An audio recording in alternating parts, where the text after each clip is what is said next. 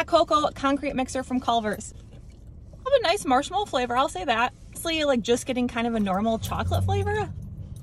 I don't get a strong cocoa flavor. I would say four and a half out of 10. Not bad, but like nothing outstanding. The dogs obviously cannot eat the hot cocoa concrete mixer, so I got them some french fries instead.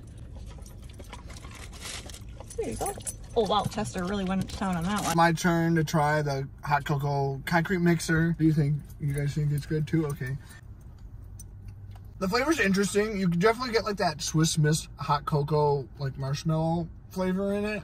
Light chocolate. I kind of agree with Jordan. It tastes very, very much just like a co chocolate concrete mixer with a little bit of that cocoa flavor. I'm gonna give it like a, a six, 6.1. You guys give it a 10? They have weird poops.